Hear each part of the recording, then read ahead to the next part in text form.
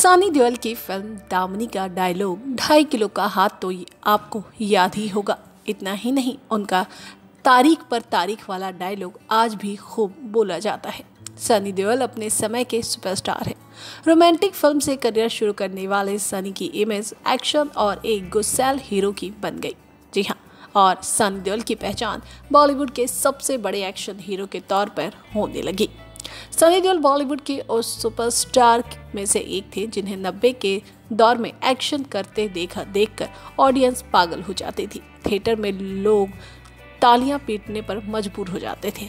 इसीलिए उस दौर की सुपरहिट एक्ट्रेस भी सनी पाजी के साथ काम करने से कतराती थी, क्योंकि उन्हें अपनी इमेज का खतरा होता था। इस बात का खुलासा खुद सनी देओल ने अपनी एक इंटरव्यू के दौरान की है, जहाँ पर उन्होंने ज़िक्र किया बॉलीवुड की चांदनी, यानी कि श्रीदेवी का।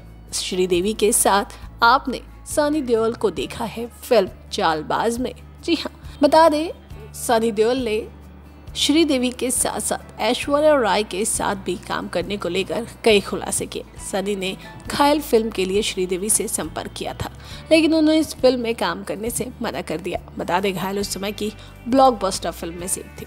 सनी देओल ने बताया कि उन्होंने फ़िल्मों में काम करने से क्यों इनकार किया? जी हाँ उन्होंने कहा, उनकी वजह तो पता नहीं चली।